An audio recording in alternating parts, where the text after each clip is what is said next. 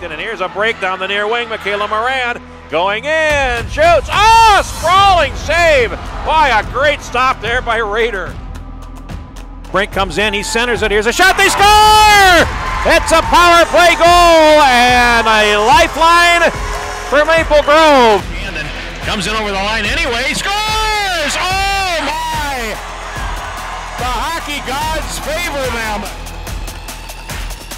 Here's a shot, tip, rebound, score!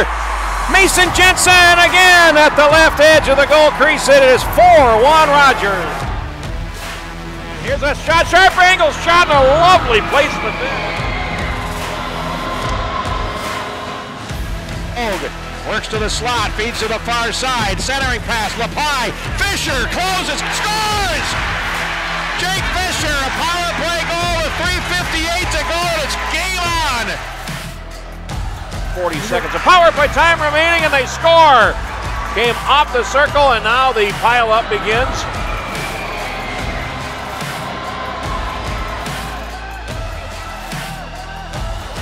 Christian the forehand, he scores!